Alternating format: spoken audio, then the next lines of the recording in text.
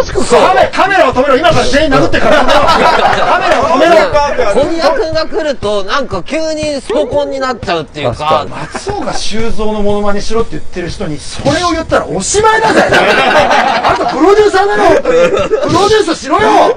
自分のチャンネルを本当に。なので今日は皆さん特訓をさせていただきます。